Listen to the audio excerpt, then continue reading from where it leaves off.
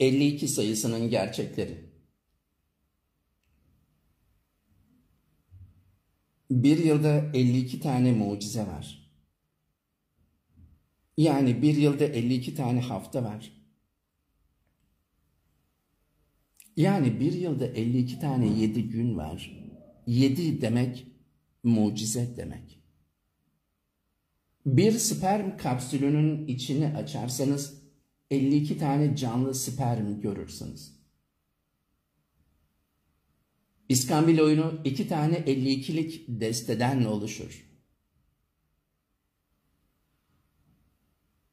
İnsan öldükten 52 gün sonra ruhu bizim evrenimizden 5 boyutlu evrene gider.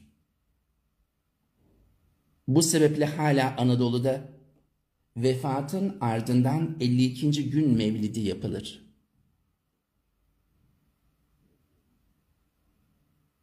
Biz anne rahmine düşmeden 52 gün önce ruh 5 boyutlu evrenden bizim 4 boyutlu evrenimize gelir. Kaf Dağı'nda, Zümrüt Ankalar Okulu'nda eğitim süresi 52 aydır. Refik Korkmaz bilinçaltı sembol dil eğitimleri 52 sayısının gerçeklerini anlattı. Evren ötemiz sonsuz.